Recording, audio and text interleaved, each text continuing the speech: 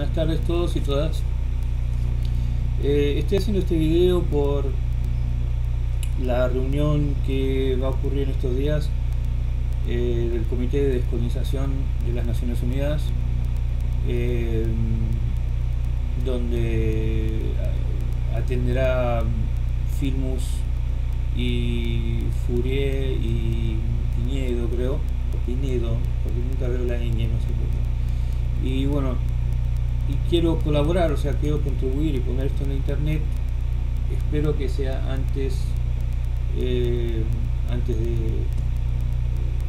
de este evento no porque cambie algo pero porque quizás daría para discutir cuando luego de que ocurra y se, se pueda hablar un poco en la internet eh, como diálogo, o sea, lo que dije primero de lo que hablé primero y eh, lo que fue la, el evento o lo que terminó resultando en el evento.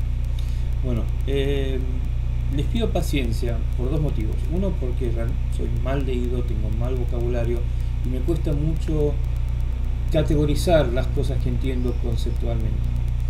A pesar de que este video se trata de la disputa por las Malvinas, primero quiero explicar algo eh, de orden, como dije, no tengo buenas palabras para categorizar.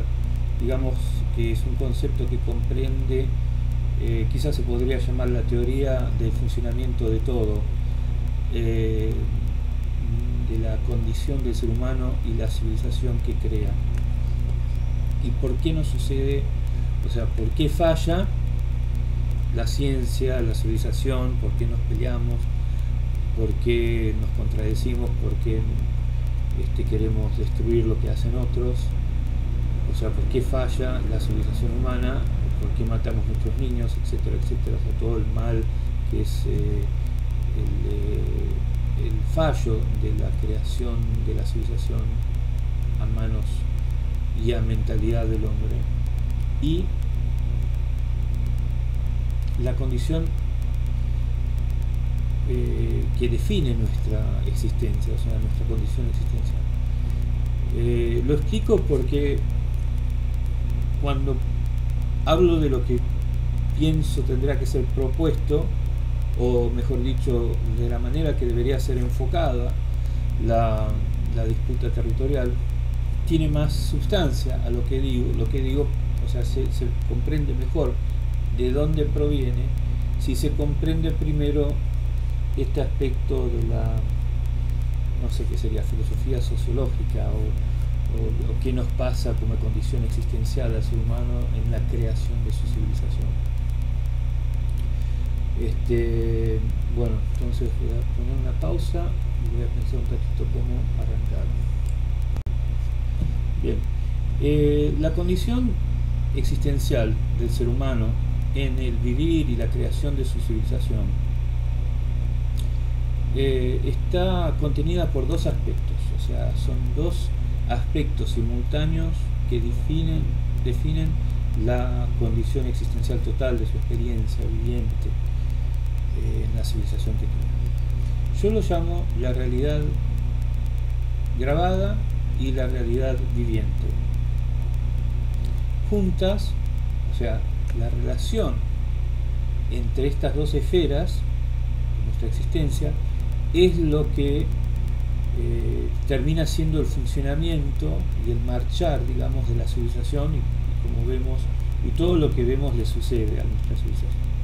¿Qué es la, la, la realidad grabada y la realidad viviente? Esencialmente, la realidad viviente es lo que nos surge intuitivamente, espontáneamente, nuestras reacciones, el hambre, el deseo, el razonamiento instantáneo que viene arraigado en lo más profundo de nuestro ser primitivo, nuestra parte física, eh, nuestro, digamos, entre comillas, nuestro animal eh, crudo, o sea, lo que somos sin la lógica, sin el razonamiento pausado. Eh, nuestra espontaneidad, nuestra alegría, nuestra, todas nuestras reacciones. Y lo que se nos ocurre. O sea, no estamos hablando de una parte silenciosa, un aspecto ambiguo dentro, no, viene expresado con el hablar también. O sea, estas dos esferas toman, eh, son, son eh, eh, tomadas por todo lo que define el ser humano. No es que se encuentra una por un lado y solo vemos otra. Vemos las dos. La existencia, la condición existencial del ser humano está fundida en dos aspectos que simultáneamente, simultáneamente existen. Eh, el otro aspecto, o sea, la otra esfera es la, realidad grabada. La realidad grabada es, en pocas palabras, lo que pensamos debemos pensar. O sea, lo que deducimos es la solución, es lo que deberíamos hacer. Eh, y todo lo que viene escrito, todo lo que viene construido, todo lo que estudiamos, que escribió otra persona.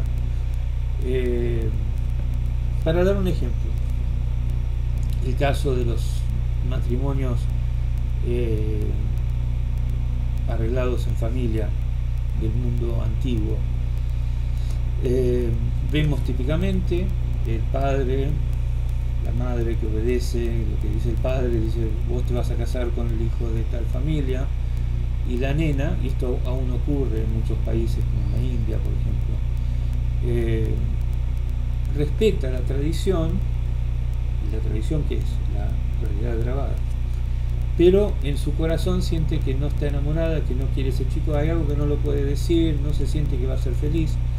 Ella está respondiendo a la realidad viviente, a la esfera de la realidad viviente. Las dos coexisten.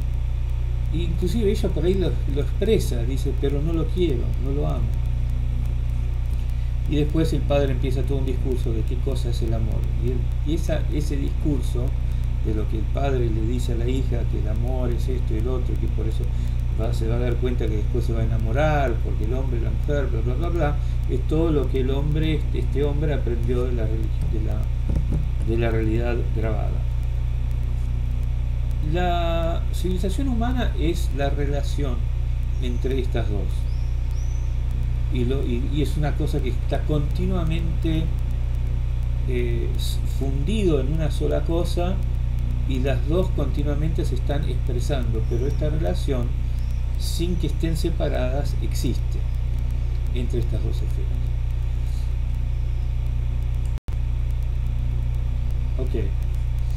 Ahora, ¿qué da lugar a la realidad grabada? La realidad viviente da eh, luz a las ideas y a los razonamientos y a la lógica que luego estableceremos. Tenemos una necesidad de establecer la realidad, eh, la realidad grabada porque nuestra inteligencia siendo mucho más evolucionada a cualquier animal que podamos ver alrededor nuestro en la Tierra, tiene una conciencia social, tiene conciencia inmensa, o sea, está mirando, entiende lo que son las estrellas, quizás los animales no, aunque no lo sabemos con certeza. Por lo tanto, si bien una persona se alza a la mañana para, hagamos de cuenta, ir a trabajar en el jardín y plantar algunas frutas y algunas, algunos vegetales para tener ese, esa temporada, la realidad social del ser humano prevalece, o sea que en realidad lo que es más importante es la colectividad. El ser humano no empieza por el individuo como se cree típicamente en el occidente hoy, que lo más importante soy yo y que yo puedo materializar lo que, yo quiero, lo que yo me imagino, lo hago realidad, etc. El individuo, el individuo, el individuo. Eh, en realidad no seríamos nada si no fuera por los demás. Nacemos ya, partimos de dos, nunca somos uno solo, porque eh, sin otra persona sería muy difícil eh, subsistir. Y no nos dejarían, porque a no ser que estaríamos en una isla en el medio del Pacífico que nadie alcanza, eh, no nos dejaría nadie vivir solo porque lo más lógico para la inteligencia de la especie es que ya sabe intuitivamente que la colectividad, aunque no lo sepamos, aunque no eh, nos demos cuenta, ese es el orden correcto, empieza todo en la colectividad. Entonces, la realidad grabada eh, establece maneras, sistemas, métodos, organizaciones, administraciones en consideración de la colectividad, porque si fuera por nosotros mismos, por nosotros solos quizás vamos al bosque a buscar comida y basta, pero como tenemos que pensar en la familia en el pueblo, eh, donde vivimos, nos organizamos y además que nos damos cuenta que es mucho más eficiente y hay más productividad cuando hacemos las cosas colectivamente, empezamos a establecer la realidad grabada, que dice, bueno, se planta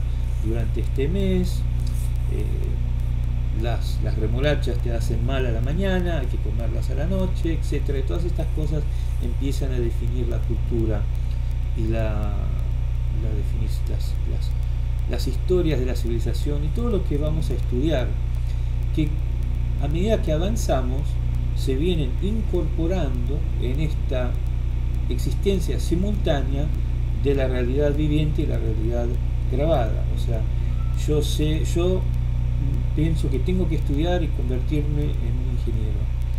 Esto es una expresión de las dos esferas simultáneas, porque tengo el sentido de propósito individual, de hombre, de padre de familia, de lograr algo con la vida, lo que sea, y a la vez la, la civilización me da un camino establecido eh, delineado, que son las universidades, y voy a agarro eh, interpretaciones o escrituras, enseñanzas también de la realidad grabada, y luego cuando las estudio estoy quizás eh, convenciéndome muy literalmente de algo escrito en la realidad grabada y a la vez estoy interpretando y digo, me digo, ah, yo lo voy a hacer a mí mismo eh, yo lo voy a hacer distinto. Yo cuando lo haga esto lo voy a hacer a mi manera y eso es un poco la expresión de la realidad viviente que, que hace, que crea algo.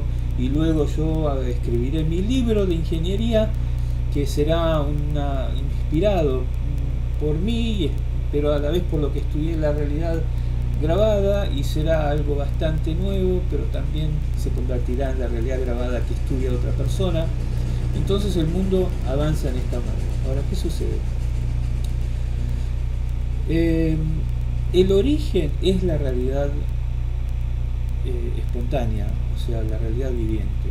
Nuestros deseos, el deseo de soberanía, de que yo llego a un lugar y empiezo a hacer mi casa y planto mis, papas para tener esa temporada, eso es muy realidad viviente, muy orgánico.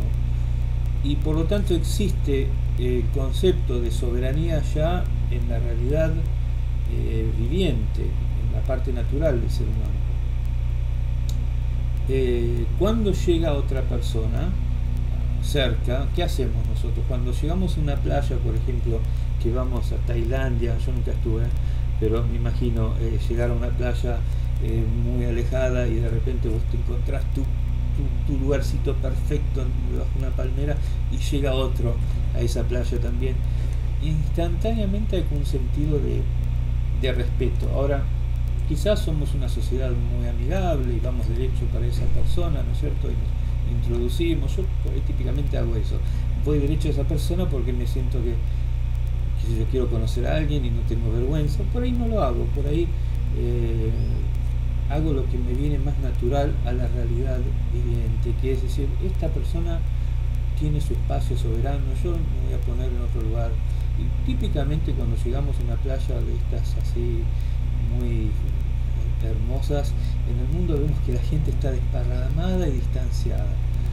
Esto surge muy de la realidad eh, viviente y tiene que ver con eh, las, los, primeros impulsos soberanos. Voy a poner una pausa porque ya se me apagó una vez la computadora y me voy a agarrar una chinche terrible si se me llega a cortar en este momento. Bueno, vamos a cambiar a otro campo, siempre articulando la relación entre la, entre la realidad grabada y la, la realidad viviente. Una persona se lastima, se pasa por una roca filosa y se hace un tajo. En ese momento eh, piensa, quiere parar la sangre, ¿no es cierto? Quizás agarra un material orgánico para taparse intuitivamente, lo primero que hace es ponerse quizás arena con agua de mar, ¿no? Hace prueba a hacer algo. Nosotros tenemos ya la predisposición a utilizar nuestra inteligencia que terminará por crear la realidad grabada. Eh, viene una persona, dice, no, mira lo que tengo yo, tengo una curita. Esta curita está hecha de un material sintético fantástico que no permite el agua, pam, pam, pam, te pone agua oxigenada.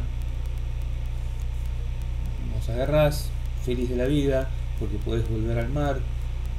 Y ese día te la pasás cambiando la curita y poniendo más agua oxigenada. Le creíste a la persona esta porque obviamente la solución funcionó muy bien. Y después de dos días de constantemente eh, ponerte agua oxigenada, te das cuenta que, y de ponerte curitas, que te das cuenta que no se está curando tan bien esa herida como otro tajo que te habías hecho la semana anterior, que vos paraste la, la sangre con la mano y en dos días parece que se curó solo. Y sin embargo vos con esta curita y la oxigenada que te pareció tan espléndido, de repente ves que la, la, herida se está poniendo extraña, como blanca y no, se, no, se, no se cierra. Bueno. Las ciencias del hombre eh, tienden a fallar, todos los inventos del hombre sea, la realidad grabada. Eh, demasiado automóvil nos va a sacar la habilidad de, ser buenos caminantes.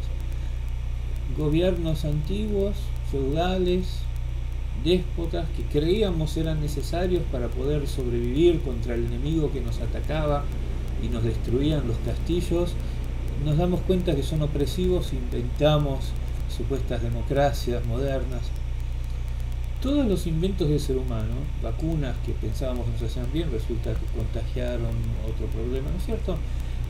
edificios que pensábamos que iban a, resulta que no sabíamos hacer el cemento, las eh, bien y hasta que aprendimos eh, eh, seguían cayéndose los edificios, la realidad, el ingenio, o sea, la ingeniería y la realidad grabada del hombre tiende a fallar ¿Por qué falla? Porque en realidad lo que gobierna nuestra base existencial, no la gobierna, perdón, lo que vive, lo que habita, lo que surge de nuestra condición de base más natural, o sea, el balance perfecto que es la creación y la, creación ecológica del planeta y todo lo que es perfecto en el mundo natural, así como nosotros caminando desnudos sobre la tierra, hagamos de cuenta, es lo más cierto a cualquier certeza que podamos llegar a conocer.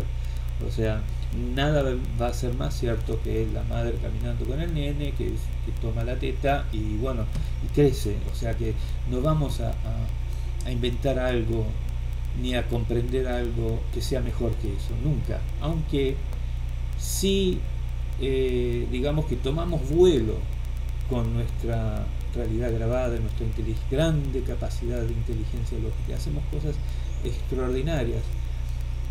Lo que no hemos aprendido a hacer es balancear, teniendo en mente que siempre tenemos que tener, nunca podemos largar la realidad natural, viviente. O sea, quizás una botellita con leche para que pueda tomar cuando estamos eh, en en un lugar que no me puedo bajar la remera, quizás, dice la madre. Entonces ahí, bueno, le, doy la botellita, pero en realidad es para casos excepcionales. Esa sabiduría nunca la aprendió el hombre todavía. El mundo sigue fallando, seguimos matando a nuestros niños porque pensamos que la guerra es inevitable y un montón de cosas que creemos. Y las cosas que creemos son también cosas aprendidas en literatura de la realidad eh, escrita, la realidad grabada. Lo estudiamos y porque lo estudiamos y porque pensamos que lo que tengo que hacer es ir a la universidad y ser político y para ser político tengo que creer esto y seguir estas doctrinas y eso, o sea, seguimos pensando equivocadamente y nos gobierna la eh, realidad grabada. Y es porque en realidad la realidad grabada queremos y nos debería gobernar, en realidad, nos debería gobernar bien. Nosotros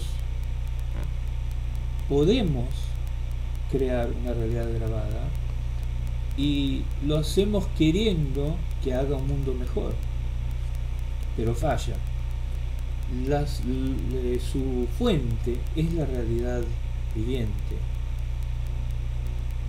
Y es en realidad, digamos, como el rey sin poder. Es la verdad ah, más cierta, pero que en realidad no es la que posee la capacidad del ser humano a llegar a Marte y a comprender si hay otros planetas alrededor de otras estrellas. Eso lo hace la realidad grabada, esa capacidad nuestra a crear la civilización, por ejemplo.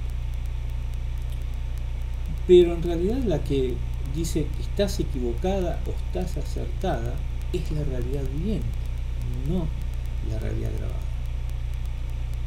La realidad grabada es como el aparato que nosotros creamos y armamos, pero es la realidad viviente que dirá, a ver, me está bien este traje que hice para en el cual vivir, este aparato en el cual haré que vivan mis naciones y mis familias y mi existencia misma, o no está bien. Eso en realidad siempre lo sabe primero el creador de la realidad grabada, la realidad viviente. Entonces, en esta relación, lo que la humanidad aún no entiende es que debemos mirar a la realidad viviente y hacerle caso. o sea, acá hay algo que no, va, no está bien, lo que hay que sacrificar es el gobierno que hemos construido, la vacuna que hemos desarrollado, el sistema o lo que creíamos o lo que enseñamos o lo que inventamos, eso es lo que hay que volver a hacerlo, no destruirlo, sino que volver de vuelta a intentar otra versión, otra manera de hacerlo, porque estamos escuchando la realidad viviente. Ahora pasamos al tema Malvinas, pero voy a tomar una pausa. Habiendo estado eh, escuchando más que nada, porque me, tratan, no voy, a, decir malas palabras en caso de que, no sé, eh, haya niños, eh, pero digamos que no me tratan muy bien en algunos de los grupos Facebook, eh, los ingleses principalmente, casi exclusivamente voy a decir. ¿Y para qué dije eso? Ah, porque por este hecho, más que nada, mi, actividad en los grupos Facebook de las Malvinas y la disputa por las Falklands y las Malvinas se ha convertido en una experiencia de observación y de aprendizaje. Tenían que ser estos grupos, grupos de debate, y mi ilusión, no, voy a decir que era ingenuo, al contrario, era una, una, idea sensata, lógica, que fuese el el ambiente, un ambiente de interés por argentinos e ingleses a superar los bloques, los obstáculos, mejor dicho, y, e inventar soluciones, romper los esquemas y proponer maneras de... Porque para mí lo lógico es que las guerras se acaben, que los problemas se resuelvan, ¿no es cierto? Este, y resultó siendo un lugar de donde se, se bardea, se obstaculiza, no se quiere que se hable, no quieren que hablen los argentinos, no quieren que, bueno, que eh, por lo que mi experiencia ha sido una de observar y de aprender mucho a través de los grupos. Más de las cosas que he probado a decir de todo y nunca ha tenido una, una devuelta, o sea, una, una subida, o sea, una, un diálogo constructivo que es un ida y vuelta que va subiendo, va subiendo, va subiendo a medida que hay intercambio. Eso nunca ocurrió. Y no ocurre en estos grupos. Es muy triste porque tenemos un instrumento como es la internet, donde de repente no estamos obligados a nuestros... Eh, bueno, estoy cambiando de tema. Lo que vemos típicamente, así generalizando el panorama de discusión entre los argentinos y los ingleses eh, con respecto a las islas, es que los ingleses se adhieren mucho cosas que han escrito, leyes que supuestamente gobiernan internacionalmente, acuerdos y cosas. Y los argentinos hablan más, digamos, nosotros estábamos ahí, o sea, más de más humana es la eh, y, tenemos sí documentos y qué pero en realidad lo que a, nosotros nos es como que nos motiva es el insulto, el abuso de poder, eh, la manipulación, las mentiras, esto, esto es la parte, mientras que el lado inglés se mueve más con eh, la, realidad del mundo que, manda adelante los que tienen más poder y riqueza, construido por, más del lado de la realidad. Entonces, ¿qué sucede? Es difícil, por ejemplo, yo lo que hago eh, a menudo, y esto lo veo que lo dicen, lo repiten otros, o sea, yo soy eco también de lo que ya hasta ha sido dicho, este, que, por ejemplo, un punto que yo siempre trato de hacer en la discusión es que los ingleses estuvieron ahí, bueno, y hubo una confrontación con España en 1971, los españoles los echaron, pero no sé qué, un acuerdo secreto, que esto, que el otro volvieron, que no volvieron, que se volvieron a ir las, islas quedaron a la deriva y la Argentina eh, dijo, bueno, España estaba, nosotros somos los más cercanos, nos toca, o sea, tiene sentido humano, tiene sentido natural. Eh, es probable que la Argentina sabía que había un riesgo que Inglaterra se pusiera cabrona porque podía, porque tiene más cañones y quisiera aprovechar de ese poder para no permitir que la Argentina continuase eh, su desarrollo eh, territorial, su unificación de lo que era parte de España al nuevo territorio argentino. Y en efecto, los ingleses aprovechan porque primero, bueno, los, los americanos destruyen el poblado, leí recientemente que los ingleses se enteraron a través de Estados Unidos que esto había ocurrido y aprovechan para venir. Bueno, o sea, que hay un montón de aspectos de sentimiento humano, de, aspectos de sentimientos de la realidad viviente a la que me refería antes, que entran en juego acá, pero por más que tengan una sensatez y una lógica que quizás me gane una discusión en la calle entre dos familias, porque hablamos del valor de las emociones y que él, y que él hace eso solo porque quiere que mi hija, que, que, quizás eh, gane tal discusión a ese nivel humano, más de la, de la realidad viviente. En este caso, como vemos en el mundo, los que tienen el poder de las armas, que las Naciones Unidas es un instrumento para movilizar las naciones que tienen más riqueza, más armamento, etc., parece que ni siquiera se viene escuchado el, el, este, el argumento humano. Y la ironía es que el argumento humano, o sea, la realidad viviente, es lo que da motivación, lo que da concepto lo que da principios, primeros valores y primeros principios eh, depositados en la realidad viviente que construyen luego los sistemas, los acuerdos, las leyes, los gobiernos, las prácticas, los documentos, los tratados, etcétera, etcétera. Entonces, eh, acá ocurre que si bien en algunas situaciones sociales la realidad grabada, o sea, una ley que es absurda, por ejemplo, en un pueblo, una ciudad, hay tanta gente que dice, mirá lo que le pasó a mi hijo por, por tener ese horario en las escuelas, mirá lo que pasó acá, ¿cuándo van a aprender? ¿Cuándo van a aprender tanta gente intoxicada? Bla, bla, bla, bla, bla. Finalmente alguien hace algo y cambia las reglas, las leyes, y tendría que ser fácil, porque en realidad los que saben más, como expliqué al principio, lo que más valor tiene es lo que desea la parte natural, humana, la realidad viviente, es la que tiene más sabiduría.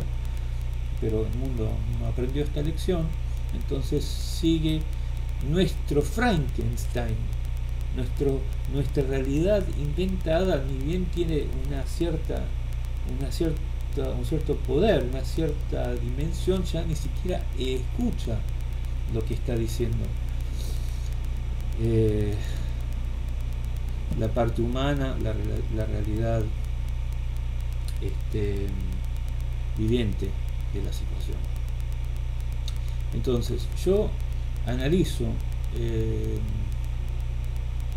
el conflicto Malvinas-Falkland porque en el sentido humano, en el sentido de la relación de la, de la, de la realidad viviente, es tan, tan, tan eh, amplia eh, es tan amplio el argumento que dice estas islas tendrían que ser parte de Argentina o administradas por Argentina o, tienen algo no pueden ser eh, histórica, geográficamente y bueno, por eso nosotros siempre visitamos, parece que estamos haciendo una, ronda constante, tocamos la parte geográfica, tocamos la parte histórica y no, y estos eh, aprovechan el hecho que tienen todos los violines y todas las las manijas de las Naciones Unidas, de, los sistemas de gobierno que están haciendo cada vez más lo que quieren, parece, en el mundo, y, es difícil. Pero, sin embargo, hay una cosa que no se puede cambiar,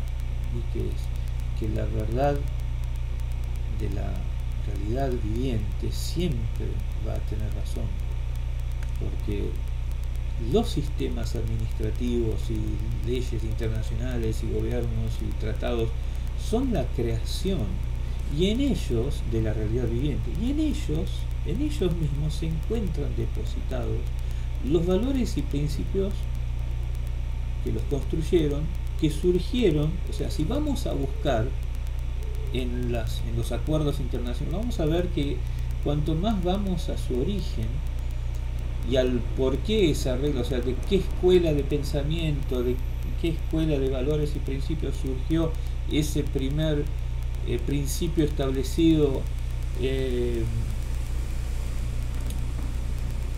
esa en esa en ese evento donde surgió el primer tratado, la primera reunión de, de reyes o de líderes o de presidentes eh, vamos a encontrar que se hablaba de algo que estaba que provino de la realidad viviente. Entonces, para poder eh,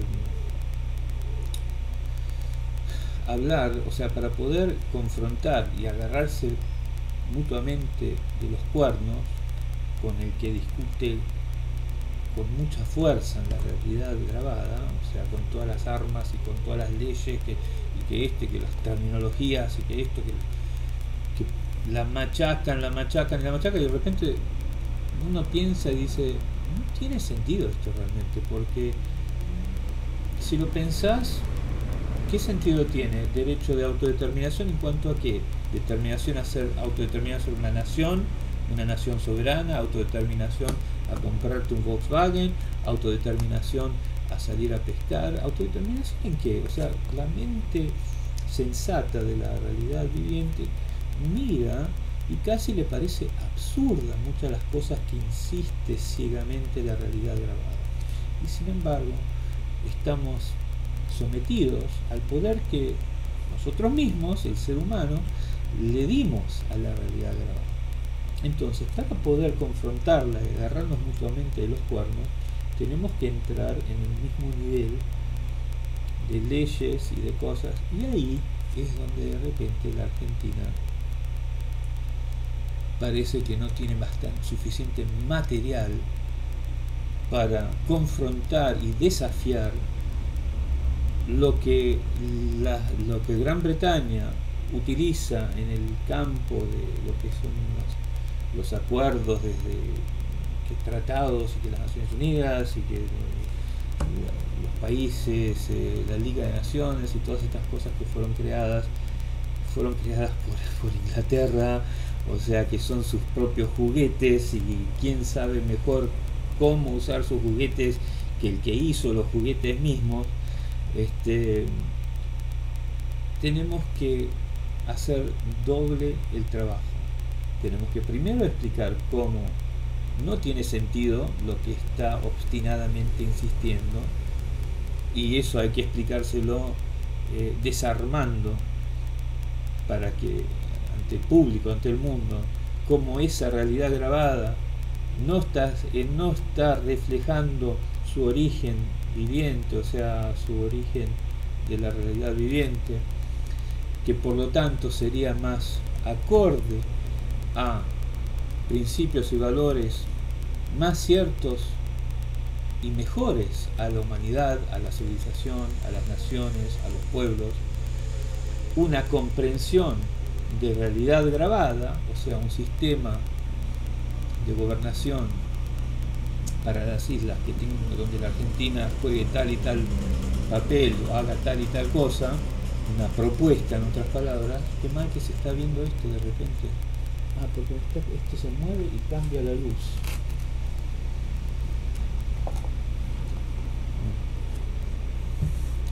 Eh, y, o sea, que es como es cambiar una situación de donde nosotros estamos eh, tratando de responder y de corresponder a lo que es un fuerte argumento de realidad estática o grabada, con un poquito de pensamiento humano, orgánico y un poquito de terminología eh, grabada, o sea, estática a, cambiarlo a un nivel en que nosotros estamos haciendo un argumento, o sea, una construcción mucho más grande, un argumento que toma la injusticia de la realidad grabada de ellos y los, lo, lo incierto que son a sus valores orgánicos y humanos, y por qué sería mejor una propuesta grabada eh, gubernamental, administrativa nuestra, dado estos mejores y más ciertos y más amplios principios y fundamentos orgánicos humanistas, humanistas o de la realidad viviente. O sea, y para hacer esto eh, hay que tener, eh, hay, que, hay que juntar un muy buen equipo. Hay que juntar un equipo de gente intelectuales, de gente eh, dispuesta a cambiar lo que cree eh, por, por ideas nuevas, de conocimiento, de autoridad intelectual, de autoridad de conocimiento y este, demostrar en palabras simples y en explicaciones simples para guiar al público, sea al opositor, que el, que el testimonio, no sé, bueno, que los que escuchan y el público en general eh, puedan seguir y darse cuenta, o sea, explicar todo. Eh, y si logramos hacer eso, eh, si logramos hacer eso, en realidad la, no lo quiero llamar la victoria, pero la razón no, no sería difícil. O sea, no sería que ahí nos encontraríamos en una situación de mucho trabajo y mucha confrontación. Contrario, si logramos hacer eso, entonces ahí nos encontraríamos en una situación fácilmente guiaríamos nosotros la situación. Eh, porque hay una sola verdad en realidad, y esto ya entra en, otra, en otro campo de pensamiento pero no es que ellos puedan también reinventar la relación, o sea, no es que ellos también puedan redefinir la relación entre la realidad grabada y la realidad viviente de ellos de manera distinta a la que nosotros la exhibiríamos mejorada, porque se mejora solo hacia una sola verdad, eh, porque la única verdad es la armonía, la mejor, la mejor verdad, o sea, la mejor y más cierta, más grande, más abundante, más sana, más todo, ¿verdad? Es la que armoniza lo mejor posible nuestra producción de la realidad grabada a la realidad viviente, humana, orgánica. Y eso logrado resulta en una, eh, al final del camino, o en el centro, o en el corazón de eso, se encuentra una sola eh, una sola narrativa, una sola comprensión, una sola eh, comprensión a, la condición humana de, todos los países. O sea, porque primero vienen los, seres humanos, después vienen los países, el orden está todo mal. Ahora, es en realidad el ser humano que crea las distintas naciones y nosotros ahora nos comportamos como lo que, que son, como que los, este, las naciones son eh, ¿cómo se llaman esos, esos robots gigantes que del film, el film americano, de los robots que entran en la, y se pelean entre ellos en, medio de la ciudad, como que nosotros somos, eh,